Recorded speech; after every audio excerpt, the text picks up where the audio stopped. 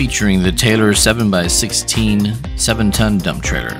Standard features include 8 inch channel full wrap tongue, 6 inch tube frame, 3 inch channel box frame and cross members, 3 inch tube uprights and top rail, tandem 7,000 pound Dexter axles with electric brakes and easy lube hubs, 235 ADR 1610 ply steel belted radial tires, twin 4 inch pistons, power up, power down hydraulics with a lockable battery and pump box.